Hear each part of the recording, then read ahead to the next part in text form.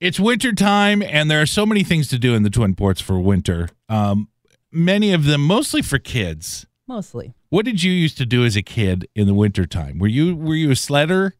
A little, yes, yeah, because my mom's neighbor has this massive hill, massive hill. Now my son goes down it, so.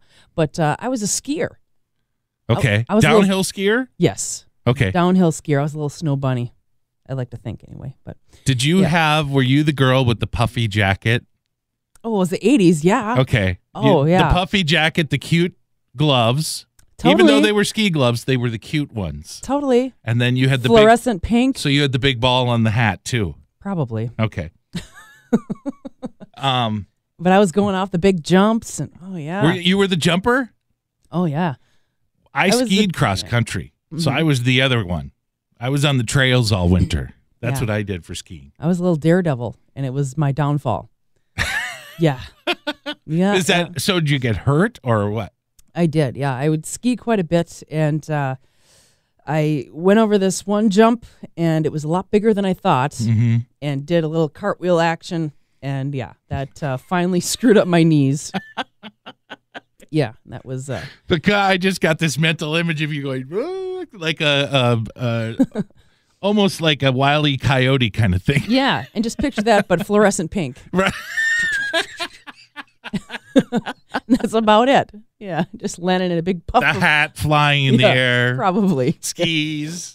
Oh, Um, oh, yeah, I loved to oh. cross country ski. But that was later. I mean, when I was a kid, I had um, one of the original sleds that had the metal rails on the side, Oh, okay. um, which worked great on hill, you know, like packed down hills. But if it was soft snow, I had to pull out the old red standby. I mean, we didn't have all the boogie boards and stuff that they have now.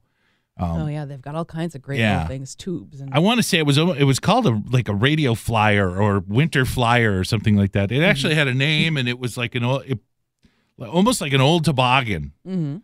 And uh and boy, when you we Death- could take that thing trap, out on the something like lake yeah. Oh yeah. and then tie it up to a, a little Arctic cat. And me and my cousins would take it out and then you'd go really fast and turn Yeah.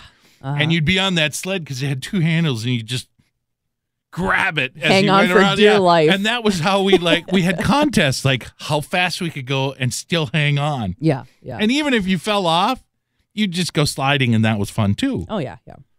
Uh, what else did you do in the winter? Snowball fights? Build build uh, Oh, yeah. forts? Oh yeah. Oh definitely. Yeah. We had some epic ones back when I was a kid. Oh yeah. But uh, I would even sled even into you know my twenties. You know my uh, my roommates and I. I remember one time I was 20 years old, and my roommates and I were a little bored one day, so we went and bought some new sleds, brand spanking new sled. Uh-huh. found a hill, went sliding. He went down before me. First time down the hill, he hit a bump. I was like, okay, well, I went down the same path. I hit the same bump. Well, it was a rock pointed kind of like that, broke my brand spanking new sled, and cracked my tailbone. Oh. Yeah.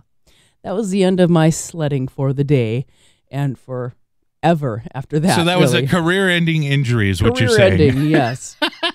yeah, I literally I went to the doctor, and the doctor said, "Yeah, I mean you you probably cracked your tailbone, and yeah, so so sit on this little round shaped thing for a while." Oh, and, you had that donut, the seat donut, and oh, Yeah, was pretty see, bad. I I only did stuff as a kid because I I grew up here, and then uh, once I left high school, I moved immediately down to Nashville, and the only winter they had was the first year that I moved there.